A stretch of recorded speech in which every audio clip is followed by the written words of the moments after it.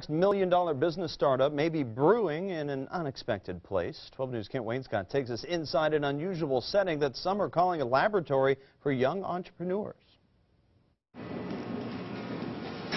You step off the elevator into what at first glance may look like empty office space, but in fact is filled with energy and innovation. 100 State, as it's called, is a laboratory for ideas. You're never going to find the kind of inspiration you can here. It's a gathering place for young entrepreneurs sharing their concepts for new startup businesses and working together to help each other succeed. Some people go to work for a large corporation and you wear one hat when you walk in the door and when you leave you take it off and put on a different hat, right? Kind of who more of who you are.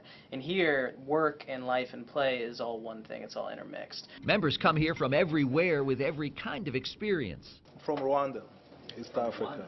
I teach at UW-Madison, uh, Wisconsin School of Business. Mash up some New York energy with Wisconsin Madison energy, so I'm excited about doing that. From technicians to performing artists, authors to innovators, more than 150 members brainstorming ways to launch the next breakthrough startup.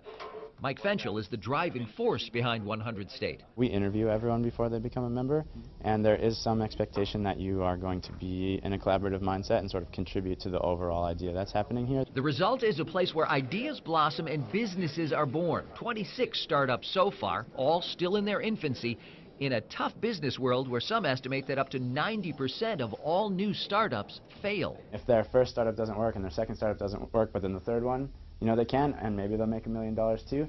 Uh, that's a success. We don't, you know, we wouldn't count that as a 33% success rate. That's a 100% success rate in our minds. As its name would suggest, the project got its start at 100 State Street in that top floor office, but it grew so quickly that in less than 10 months, it had to relocate to a newer, larger space across the street. And into a work environment like few others. Having been here, could you work in a traditional corporate environment? Hell no. No. it's a place where no one is sure what the next idea or the next question might lead to. So what do you think about this? I'm like, I have no idea. I've literally never thought of that before ever. Pennsylvania native Carla Angel holds down a full-time job while collaborating on her own startup idea here.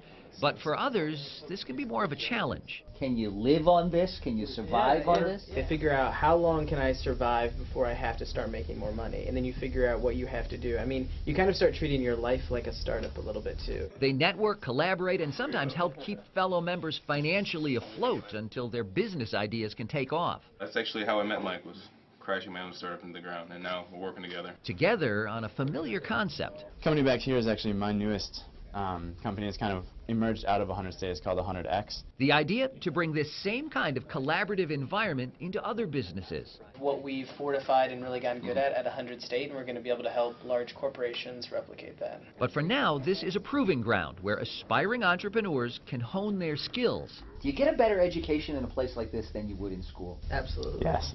yes. Yeah, you do hesitant to say this is even better than my classroom. The business school professor says he wouldn't go that far, but as someone trying to launch a startup of his own, selling German-baked bread to an online marketplace, he is sold on the environment here. It's a great energy. I like the energy here. It's very inspiring. In Madison, I'm Kent Wainscott, WISN 12 News.